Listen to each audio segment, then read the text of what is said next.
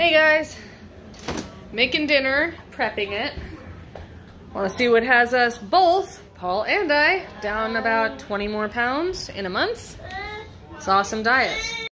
Our dinner. Beautiful London broil steaks. And baked veggies. Tonight's just steak night. Last night we had chicken.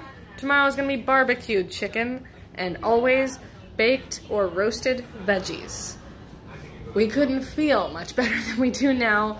I am feeling so much better, more energy, and little miss is loving all the veggies. Stay healthy, guys. It's so important to eat right.